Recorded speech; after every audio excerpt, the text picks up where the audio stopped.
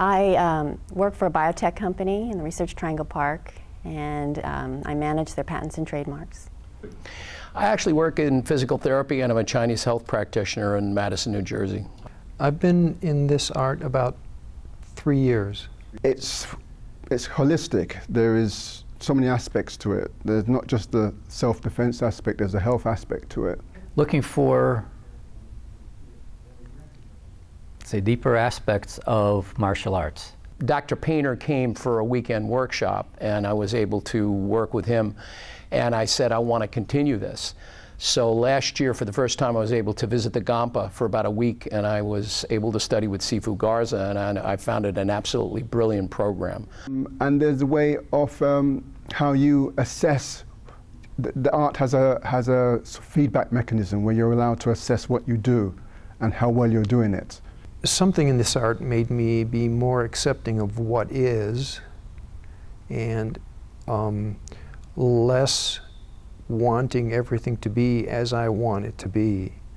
Um, I definitely feel a lot more balanced, not only physically, but also emotionally, spiritually, um, in just my, my everyday dealings in life. It's made me taller. It's really helped my health.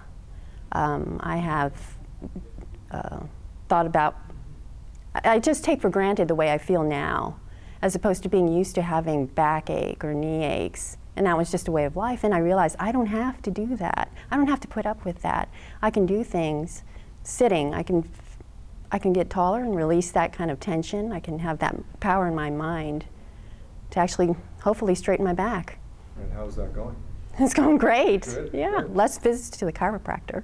Jiulong Bagua is an incredible system because uh, Shifu Castaldo, when I went down and studied with Shifu Garza, was able to create this syllabus, a very um, uh, um, A plus B plus C. We start with the quiet sitting, and then sitting, and then standing, and then shifting and walking.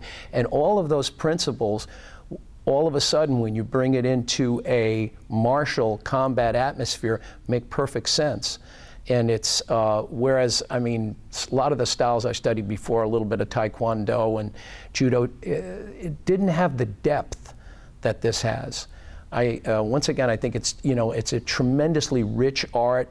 It's vast, it's boundless, it's immeasurable in terms of how deep you want to go. And obviously, the deeper you go, the more you're able to get out of it. It's incredible it, it is a life-changing art, and it has changed me, and I'm, I'm a testimonial to it.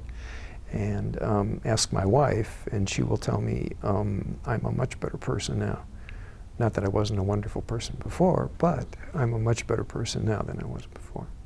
And people around me were always complaining about feeling down or feeling tired or um, eh, complaints. They were just complaining. They weren't enjoying life.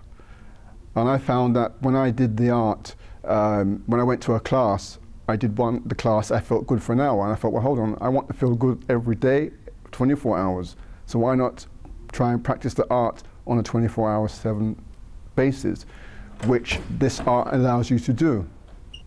The martial aspects, or even just the practices, uh, deal both with health aspects and also the, the martial aspects uh, in many cases. So there is a, a real good balance um, that uh, almost anyone of almost any age can gain. Especially as a woman, I think I'd like to figure out how to make this wor work and be able to be hopefully a role model to encourage other women. I think this is more important for people after 45. An interesting factoid is that, and we use this in our business, the fourth leading cause of death in people over 45 are falls and the complications from falls. And 95% of those falls occur in the home. So if you can get people to become aware of how they literally sit, step, shift their weight, and walk, that's going to mitigate those falls. Size doesn't matter. Maybe it's an advantage if you learn how to use it well.